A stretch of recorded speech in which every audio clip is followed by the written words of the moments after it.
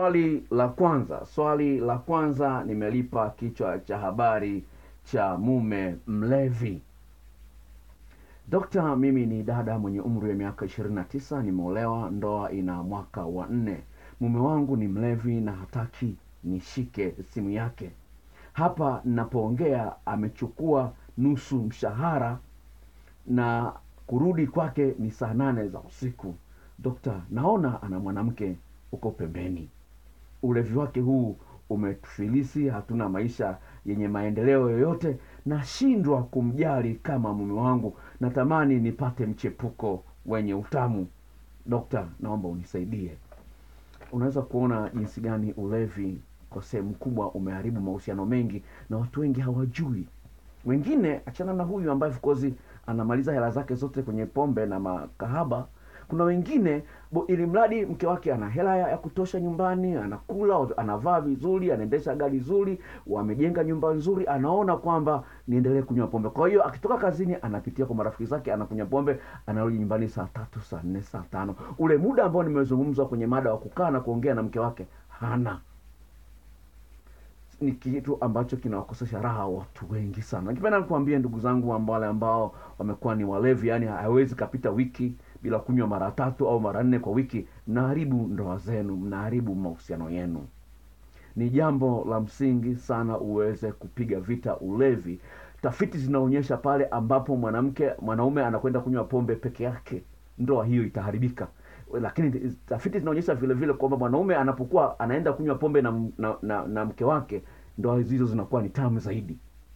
Kwa hiyo kama unakunywa pombe, basi nenda na mke wako mkanywa wote pombe, mtatengeneza utamu. Lakini kama unaenda unakunywa pombe peke yako, unarudi nyumbani umelewa, haipendezi kabisa, unaharibu uhusiano wako bila kujua, kwa sababu mwanamke huyo akitafuta mchepuko, ndoa itakuwa mbaya.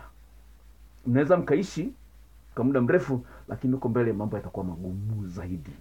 Sasa hali kama hiyo haipendezi. Kwa hiyo cha msingi ni kwamba ni jinsi gani huyu mama kama mama ataweza kumsaidia mumewe aache pombe. Napenda nizungumze kwamba inawezekana kwa mwanamke amsaidie mwanaume aache pombe. Kwa nini nazungumza hivi? Inawezekana.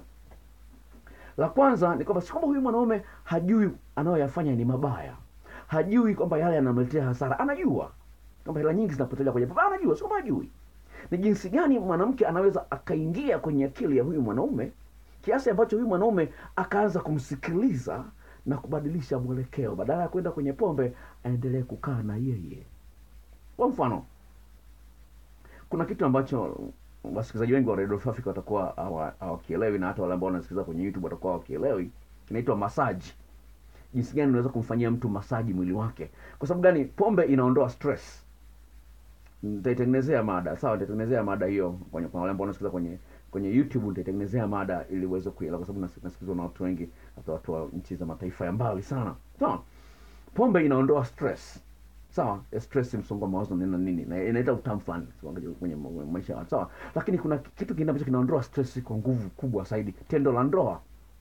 Mwanaume ambaye anaishia goli moja na anawahi kumaliza hajaondoa stress yake. Stress hiyo ataenda iondoa kwa kupitia pombe, kwa sababu pombe haina gharama, haina hahitaji ufundi. Unakunywa, unalewa, unasikia utamu, unaongea, unakuwa mwongeaji sana na unacheka sana, inaondoa stress. Sawa. Kwa hiyo ukijifunza kumfanyia mwanaume masaji na video ambayo inafundisha jinsi gani ya kumfanyia mwanaume masaji au kumfanyia mkeo masaji, hiyo video kwezi zipo naziuza kwa njia ya, ya, ya, ya mtandao, gharama yake ni shilingi elfu kumi. Masaji ni kitu kizuri sana, kinaondoa stress, lakini vile vile tendo la ndoa inaondoa stress vile vile. Kwa hiyo mwanaume anaishi goli moja, ndani dakika kumi tendo la ndoa limeisha, tambua kwamba stress yake umeshindwa kuiondoa. Lazima ufahamu mambo mengi ya kumsaidia mwanaume aondoe stress kwenye tendo la ndoa. Unaweza kumwandaa mwanaume kiasi gani kabla haja kuingilia, ni kitu ambacho kinasaidia kuondoa stress. Ukiondoa hiyo ya masaji nyingine ambayo nakuambia, ukiondoa hii ya tendo la ndoa, jinsi gani unaongea naye. Sasa mwanaume katika mwili wake ana maeneo kumi na mawili ambayo yana miisho mingi ya mishipa ifahamu. Sasa ili mwanaume aweze kuondolewa stress, sawa sawa, lazima afanyiwe mambo mengi yana kwa muda mrefu kidogo, ili mwili wake uweze kufurahia tendo la ndoa kikamilifu. Sasa shida ni kwamba wanawake wengi wanaamini ili mradi mwanaume amemaliza basi amefurahia tendo la ndoa. Sio kweli.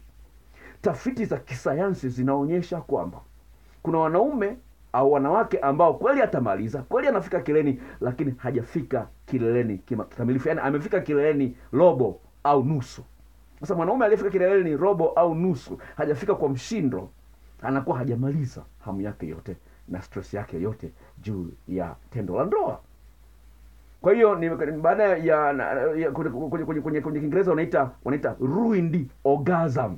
Yaani kufika kileleni kuliko haribika. Sawa? Ni yai lakini limeharibika. Unaliona ni yai lakini ndani ni bovu. Kwa hiyo upo uwezekano wa mtu kufika kileleni lakini hajafika kileleni kikamilifu.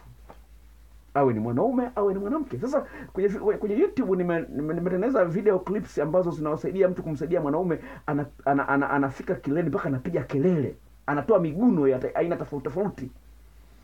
Imepata response kubwa sana na wanawake wengi wameagizia hizo video na kuzitumia. Kweli mwanamke anafika kileleni. Ni mwanaume anafika kileleni mpaka anapiga kelele. Wanashangaa. Mwanamke na mwanaume anasema hii haja.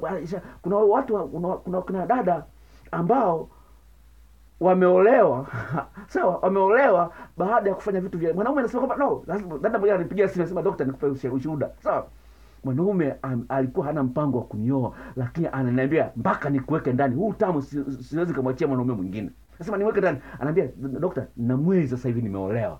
Unajua ndoa za kiislamu ndani ya wiki moja tu mnaoana unaenda kwa she- shehe mnafunga ndoa hamna kelele nyingi fyap tayari mmeshaoana kwa hiyo hiyo mwingine anasema dokta mume wangu na mchumba wangu sasa hivi anapeleka mahari. Isi, ni vitu ambavyo vinaingia kwenye akili ya huyu mwanaume anabadilika kwa hiyo kuna mambo mengi. Sio tendo la ndoa peke yake. Naomba naomba sawa? Sio tendo la ndoa peke yake. Nazungumzia kuna maeneo mengine ambayo nimezungumza kwenye mada. Na maeneo haya ya tendo la ndoa ni ya muhimu sana. Kwa hiyo inasaidia kwa hiyo ninachozungumza ni kwamba dada yangu una uwezo wa kuweza kumsaidia mume wako akaacha pombe